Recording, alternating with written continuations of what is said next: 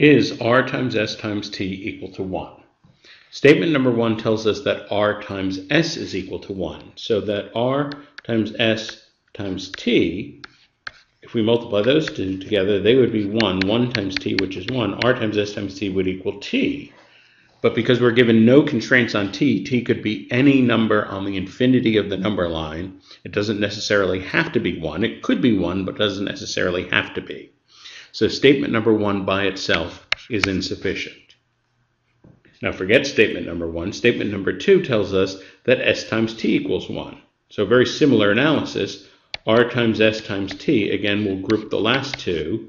They equal 1, so that's r times 1, that equals r. Statement number 2 gives us absolutely no information about the value of r. Again, it could be any number on the infinity of the number line. It could be 1, but it doesn't have to be. So statement number one, statement number two by itself is also insufficient.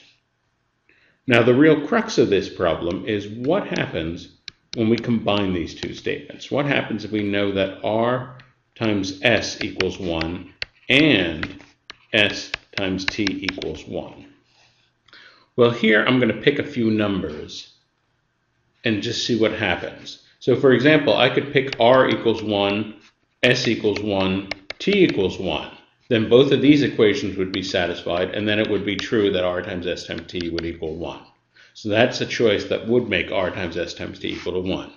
I could also pick r equals 3, and then s would have to be 1 third, so that r times s equaled 1.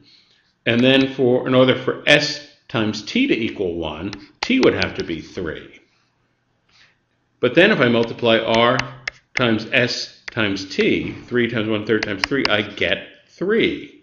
And so this is not equal to 1. So it's possible to make choices that allow r times s times t to equal 1. It's also possible to make choices that do not allow r times s times t to equal 1.